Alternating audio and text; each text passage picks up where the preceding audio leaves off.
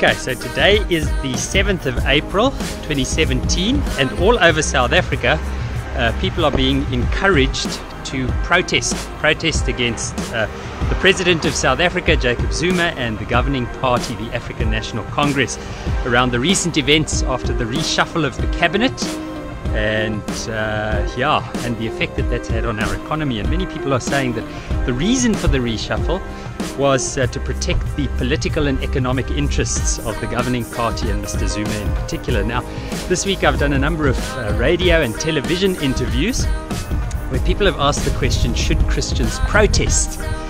Well, my answer to that is absolutely yes. Uh, firstly, the word protest comes from uh, two Latin words, pro and testare. Now let's begin with the second one. Testare comes from the root word testis, which means to witness, and uh, the word pro, to uh, witness towards or publicly to uh, profess.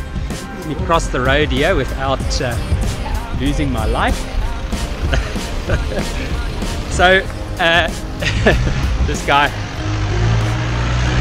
So, um, yeah, the notion of protest means to witness towards something, and I think Christians should always witness towards hope, they should witness towards justice, and they should witness against injustice and abuse of power.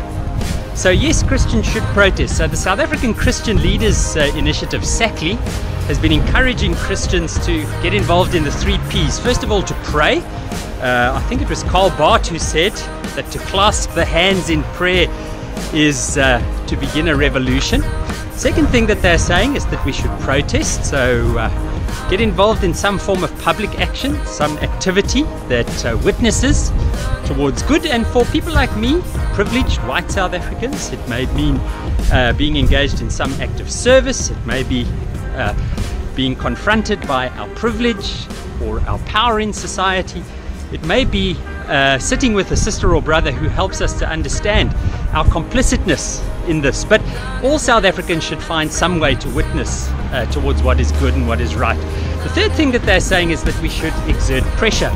Now, this has been uh, one of the things that I've been uh, making clear on uh, the various uh, radio stations and little TV interviews that I've been doing.